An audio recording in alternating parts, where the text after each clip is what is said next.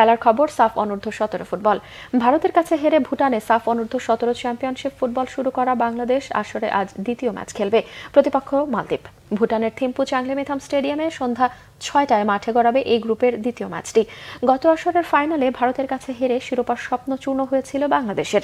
বয়স বয়সভিত্তিক এই টুর্নামেন্টে এবার উদ্বোধনী ম্যাচেই প্রতিশোধ নেয়ার সুযোগও পেয়েছিল সাইফুল বাড়ি টিটুর দল। কিন্তু শুক্রবার ভারতের বিপক্ষে হার দিয়েই আসর শুরু করতে হয় বাংলাদেশের যুবাদের।